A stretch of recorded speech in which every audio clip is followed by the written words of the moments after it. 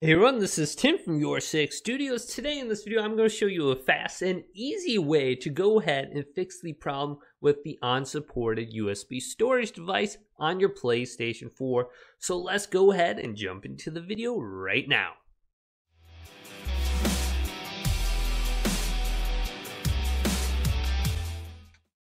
So like I stated, this is a very fast and easy fix for this solution and you will not need a PC or any additional hardware. So I have my USB storage device plugged in and it says it's unsupported on the top left hand side of the screen. Now let's scroll up to the top bar on the PlayStation 4 home screen, then go to settings and select cross on it. Now let's scroll down to devices and select devices. Now go down to USB storage devices right here. Select cross on it. And here is my USB storage device and it's unrecognized. It's only two gigabytes, but I have larger ones and I'm just gonna use this one to transfer over screenshots and some videos to my computer really quick. So this is unrecognized. I can't put videos or screenshots on it right now.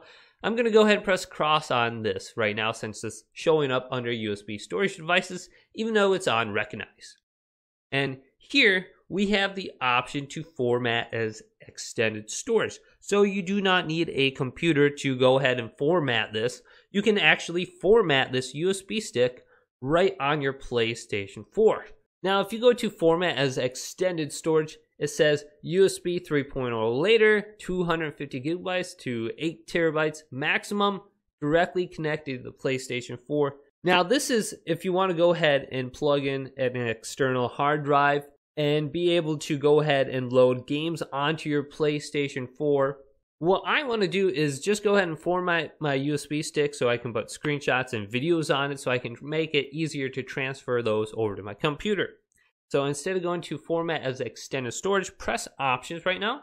Then go to format as exFAT. This device will be formatted as exFAT and all data will be deleted from my USB stick. So let's go ahead and do that now. Format. Are you sure you want to continue? Let's go to yes. So this device has now been formatted and is now recognized on my PlayStation 4. So let's go over to the capture gallery and just see if I can load up a screenshot on it now. Okay, so here is a small video clip on capture gallery. Let's go to options and then go to copy to USB storage. And then let's go to copy and press OK. And it looks like it's working. It's copying over that small video file and everything appears to be working. So if you want to go ahead and format an unrecognized USB stick on your PlayStation 4, you can go ahead and do that without a PC. So if this video did indeed help you out, make sure you hit that thumbs up button down below and subscribe to my channel for more PlayStation 4 tech help videos coming up next on your six studios.